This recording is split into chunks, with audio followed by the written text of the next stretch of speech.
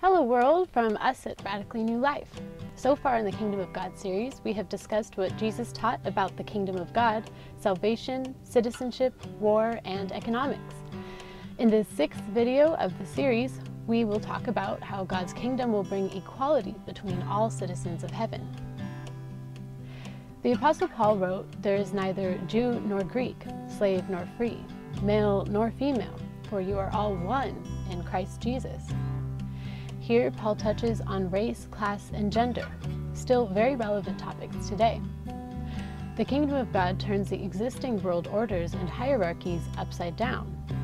For example, when you look to the first world, who do you find being served? Those who are considered to be the greatest, that is, the rich and respectable.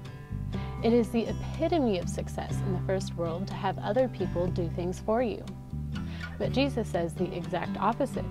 The greatest are those who serve others, not the ones being served.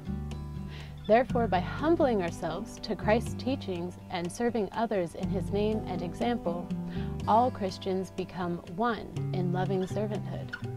By serving others, we can follow Christ's teaching to love one another as he loves us.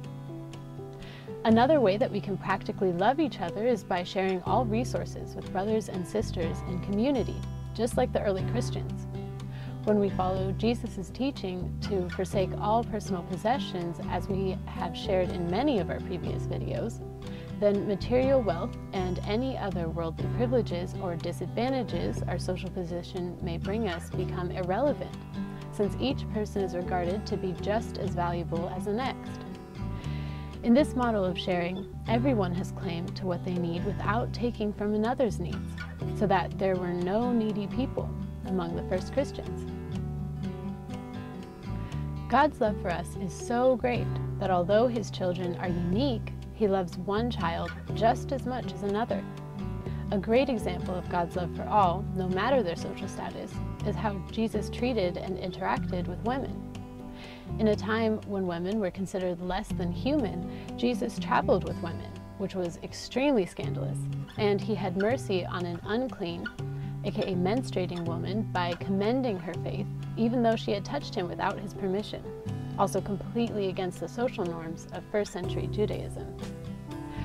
This shows how God loves all his children equally, no matter what social status they hold in their earthly lives.